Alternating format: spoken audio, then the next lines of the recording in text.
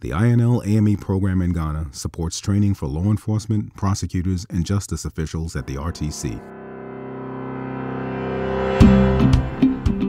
In March of 2018, Mr. Mensah attended a series of FBI instructed cybercrime courses at the RTC. Mr. Mensah applied his AME training to extract evidence from a phone of a narcotics trafficking suspect that led to the arrest and prosecution of two accomplices. A drug courier was arrested at the airport with 7.5 kilograms of speedball. She was supposed to meet with contacts in Ghana and deliver those drugs. When she was arrested and interviewed, she refused to give the names of those she was going to meet in Ghana to give the drugs to. So we had to extract her phones. Her consent was sought and the phone was extracted. Details from the extraction proved that there were contacts in Ghana that investigators were able to use to arrest those suspects. So two suspects were arrested in this case.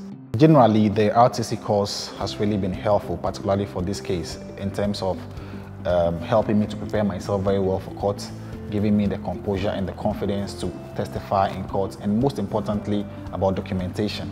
The moot court process was really, really helpful. For me, it came timely because um, I was getting prepared to go and testify in court, and the moot court session was like a preparation for me.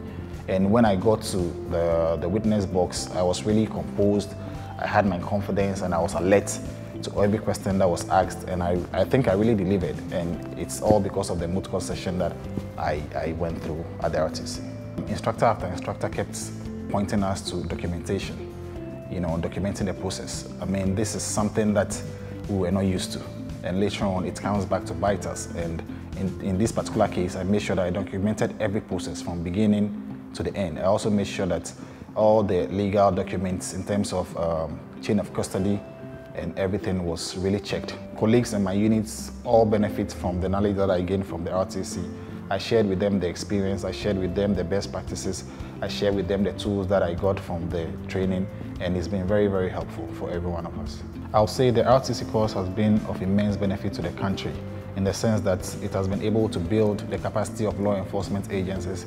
And for me particularly, I've really learned a lot and I'm very productive and very uh, professional in my delivery and in my day-to-day -day activities.